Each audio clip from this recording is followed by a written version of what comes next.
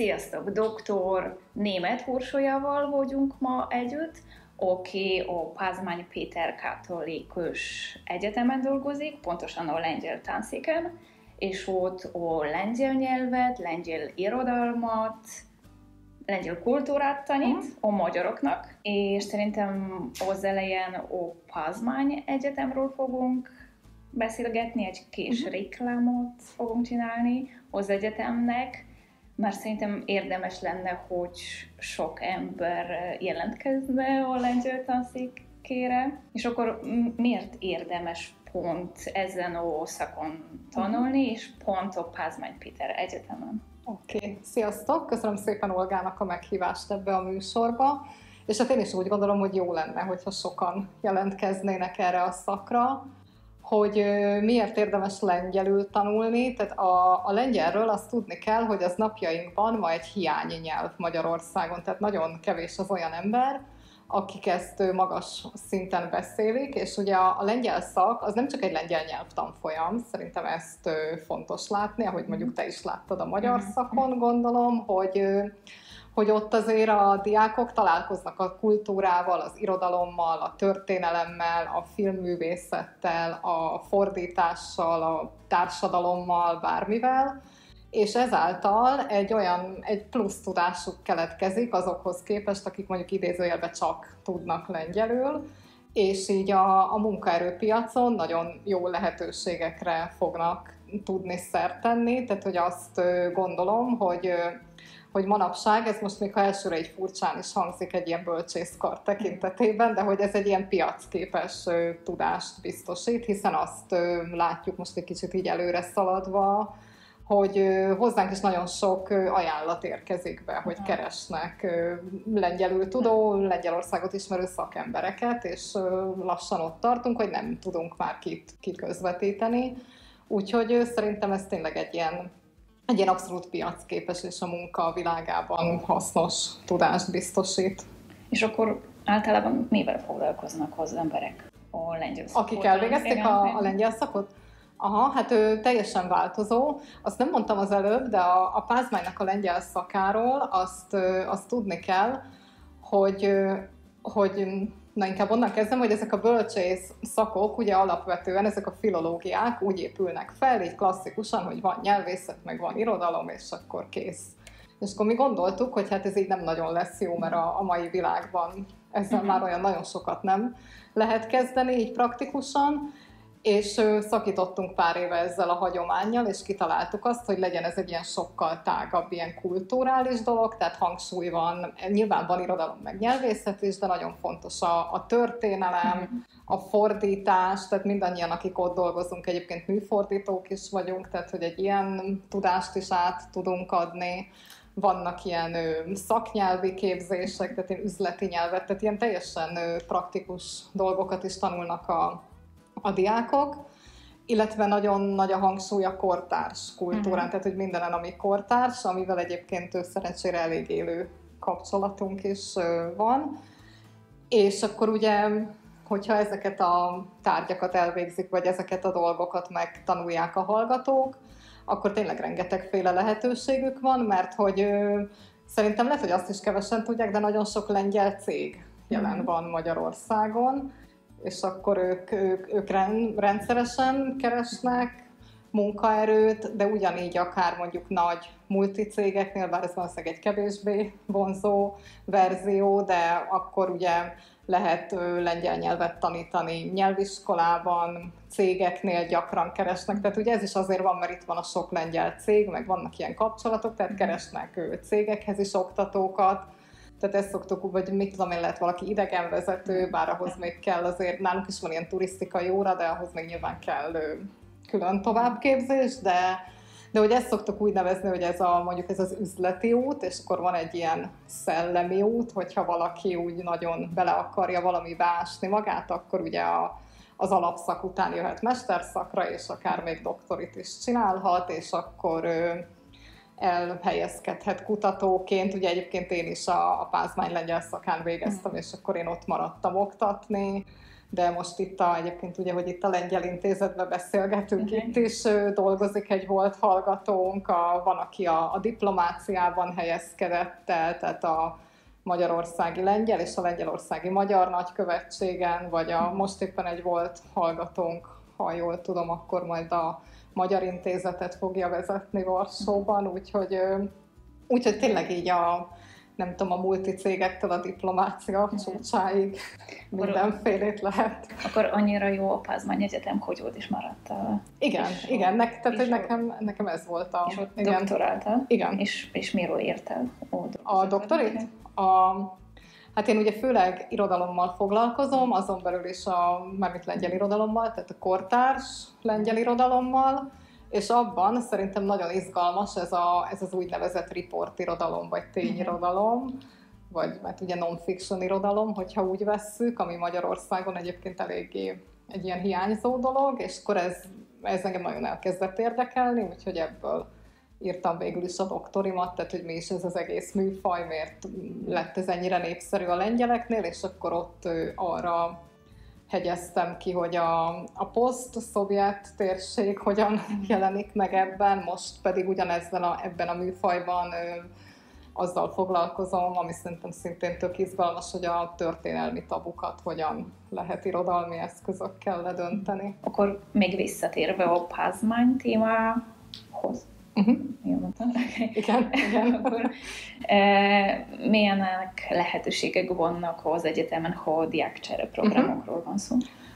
Elég sokféle van, mindjárt rá is térek konkrétan, csak itt ezzel kapcsolatban szerintem azt is még ki kell hangsúlyozni, mert szerintem az mindenki sejti, hogy egy lengyel szakra nem annyian jelentkeznek, mint nem tudom, pszichológiára vagy kommunikációra. Sajnos, bár egyébként nem, tehát annyi azért nem kellene, de hogy de hogy ezek a kis létszámú csoportok viszont lehetővé teszik azt, hogy egy ilyen, hát mondjuk, hogy egy ilyen egyéni tehetséggondozás legyen, tehát, hogy figyelembe tudjuk venni az adott hallgató képességeit, érdeklődését, tehát, hogy mindenkivel így külön, külön foglalkozni és így terelgetni. És ugyanígy, ugye ezek a kis létszámú évfolyamok a, a külföldi ösztöndíj lehetőségek szempontjából is nagyon praktikusak mert hogy itt, tehát hogy nálunk lényegében nem kell versengeni a helyekért. Uh-huh. Tehát, hogy aki akar, az kimegy Lengyelországba egyszer minimum, de kétszer-háromszor is simán, mert hogy vannak a, a Pázmánynak Erasmus kapcsolatai, azt nagyon sok lengyel egyetemmel, most ha csak a legnagyobbakat említjük, ugye Krakó, Varsó, Lublin, Katowice, uh-huh. és így tovább. Ide ugye lehet ilyen fél évre, egész évre menni, áthallgatni, és akkor ami még nálunk van, ez a, ez a CEPUS, ez egy ilyen közép-európai ösztöndíj, és akkor itt is a, a Pázmány benne van egy olyan, egy ilyen szlovik nevű hálózatban, ami lengyel részről a, a Varsói Egyetem és a, a Lublini Egyetem van benne, illetve most újdonságként Kosalinba is lehet menni, hogyha valaki a tengerparton vágyna egy kicsit tanulni. És tudom, hogy te is voltál ott diákcsere programon. Igen, igen, ha? abszolút. Én Krakóban és Varsóban voltam, uh-huh. sőt összesen három alkalommal ugye az öt éves képzés alatt, illetve egyszer nyári egyetemen, és azt nem is mondtam az előbb, hogy ugye van még ez a, ez a verzió is a nyári egyetem, ami ugye egy ilyen három-négy hetes nyelvtanfolyam félesség, de igazából egy nagy buli, szóval. Akkor szerintem jó volt ez a tapasztalat. Igen, igen. És akkor Varsó vagy Krakow? Hát ez egy nagyon jó kérdés, ezt egyébként én szoktam mondani a, a diákoknak is, hogy mikor először kimegy az ember, akkor Krakow az így mm. nagyon tetszik, mert milyen szép az az óváros, meg minden, meg egy kis ékszerdoboz, meg ez a mhm. közép-európai építészet, stb. Tehát, hogy ez így elsőre tök jó. De egy idő után lehet, hogy egy kicsit unalmas. És akkor én például, mikor először mentem Varsóba, hát ezt bevallom, én először iszonyatosan utáltam Varsót, uh-huh. Aztán így eltelt pár év, és vissza kellett mennem valamiért, és akkor meg így teljesen beleszerettem. Tehát, hogy akkor, akkor azt éreztem meg valahogy, hogy, hogy szép, szép ez a Krakó, meg jó a kulturális mhm. élet, meg stb., de mint hogyha az igazi élet az ott így Varsóban lenne, azzal a, azzal a sokféleséggel, ezek a nem tudom már ilyen New Yorkra emlékeztető uh-huh. üvegpalotákkal, felhőkarcolókkal, de közben ott azzal a óvárossal, amit ugye 50 éve építettek fel újra, meg a kultúrpalotával, tehát hogy szerintem ez nem egy ilyen eldönthető kérdés. Igen. De szerintem gyak, gyakran szokott utazni Lengyelországba.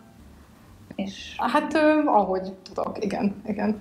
Akkor, és van egy kedvenc helyed Lengyelországban?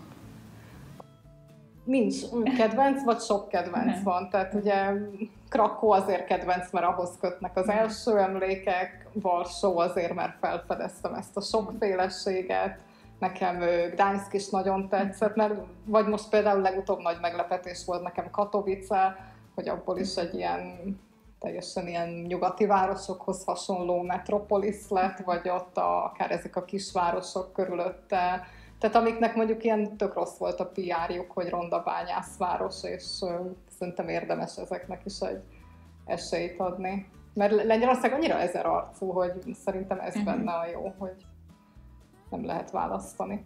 És szerintem még erről nem beszélgettünk, hogy egyáltalán hogyan kezdődött a történt. Az én történetem a lengyellel? Aha. Igen. Aha. Hát itt most jó lenne, hogyha tudnék valami ilyen nagyon jó sztorit mondani, de valójában nincs ilyen. Amikor én kezdtem az egyetemet, akkor még ugye nem volt ez a bolonyai rendszer, és ráadásul kettő szakot kellett nekünk választani, és akkor én, én olasz szakra akartam menni, de ugye kellett még valami, és akkor gondoltam, hogy hát legyen ez a lengyel, ez olyan érdekes, meg nem sokan tudják meg, hogy kicsit olyan egzotikus, és mhm. akkor így bekerültem az egyetemre, és az viszont érdekes volt, hogy igazából szerintem így egy hét után kiderült számomra, hogy így ez lesz a, az én utam, vagy az én világom. De szerintem gyakran így van. Igen. És velem is így van. Igen. Hogy és spanyol szakra igyekeztem. Ja, hát akkor az ugyanaz. Igen, igen, igen. Te inkább az irodalommal foglalkozó, Aha. és akkor van a kedvenc lengyel íróid?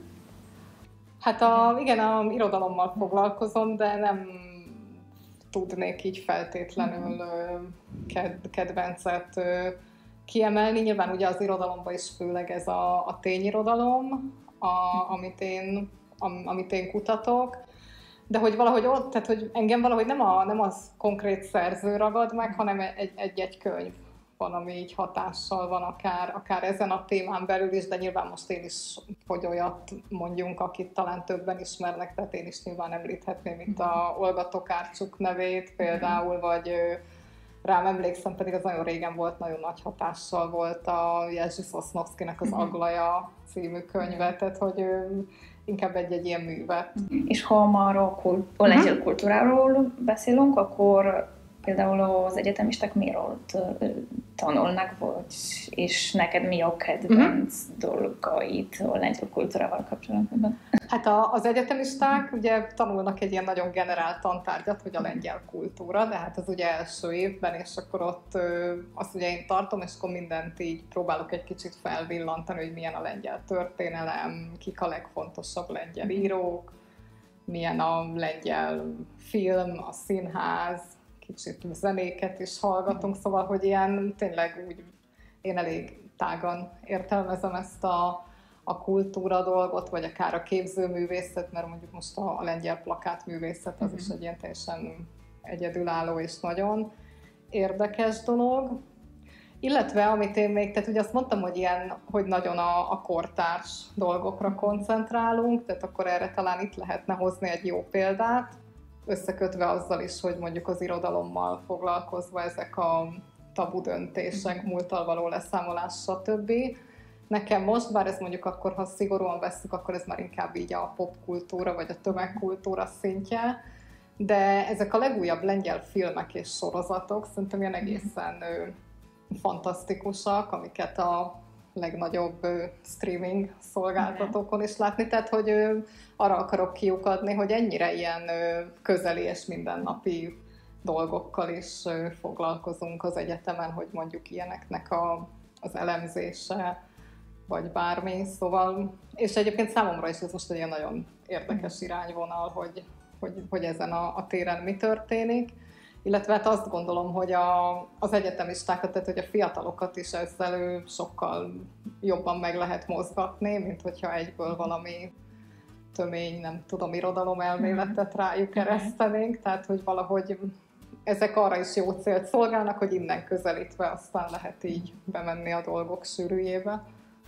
És szerintem azt nem kérdeztem, hogy, hogy egyáltalán miért az emberek jelentkeznek a lengyel szakra, hogy mi a leggyakoribb motivációjuk? Hát ez egy jó kérdés, mert tehát, hogy, tehát, hogy annyira különféle, hogy nem tudok uh-huh. kiemelni egy ilyen dolgot, de hát a, a leggyakrabban az, hogy, hogy mondjuk járt Lengyelországba, uh-huh. az megtetszett neki, akkor mondanak ilyet, hogy érdekel a lengyel kultúra, de, de ez ugye megint annyira tág, hogy nem derül ki pontosan. Ö, mit tudom én, vannak olyan hallgatók is, akik mondjuk ö, kárpátaljaiak, uh-huh. és akkor ö, az ukrán miatt, hogy, hogy akkor lengyelt is tanuljanak. Ja, úgyhogy te teljesen, teljesen változó és ha van egy magyar, aki tanul lengyel nyelvet, akkor mi a legnehezebb dolog a uh-huh. tanulásban? Hát én, én már annyira nem emlékszem, de ahogy elnézem most a, a hallgatókat, szerintem ami elsőre sokkoló, az így a kiejtés. Uh-huh. Tehát ugye vannak olyan uh-huh. szavaitok, amire ha ránéz az ember így elsőre, akkor azt mondjuk, hogy úristen, ebben uh-huh. nincsen egy magánhangzó, ezt hogy lehet kimondani. Úgyhogy ö, szerintem e, e, ez tud egy ilyen első sok lenni, de aztán ezen így túl teszi magát az ember. És akkor ami még most nem is feltétlenül nehéz, hanem inkább furcsa, vagy más, mint a magyarban, hogy ugyanállatok vannak az esetek a népszóragozás, tehát hogy az, mhm. az, az nekünk talán egy kicsit nehéz, viszont az tök jó, hogy nincs annyiféle igeidőtök, mint az angolnak, vagy az olasznak például. Úgyhogy, és a helyes írás nem nehéz? De, hát tehát az ugyan, a, de, de, de, tehát ugyanúgy, mint a, mint a kiejtés, igen. Uh-huh. igen. Tehát az a kettő így együtt, hogy nem tudom, mikor kell ível, mikor y uh-huh. tehát azt látom, uh-huh. hogy azzal az ember így küzdködik az elején, de, de nem megoldhatatlan. És, és mi a legjobb dolog a tanára munkájában?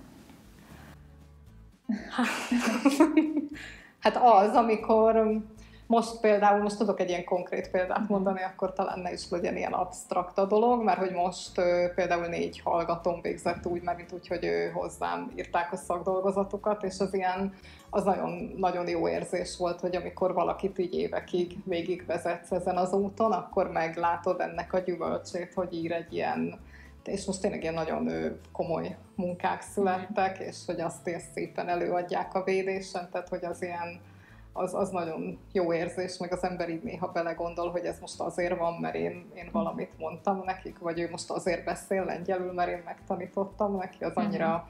furcsa érzés, és ö, most még ezzel kapcsolatban még egy mondatot, hogyha lehet, hogy ö, tehát ugye azt mondtam, hogy ilyen mm, kis létszámúak a csoportok, és mhm. akkor ugye azért viszonylag ilyen személyes lesz a dolog, és most ö, például ezek a, a lányok, akik végeztek, ugye ott a védés után hoztak nekem ajándékokat, amik, ö, amik abszolút ö, úgy éreztem, hogy tükrözik az én személyiségemet, uh-huh. és mhm. akkor azt gondoltam, hogy tulajdonképpen ebben ez a legnagyobb dolog, hogy nem csak, hogy egy ilyen tárgyi anyagot megtanítottam, hanem hogy, hogy át, átment ez az egész.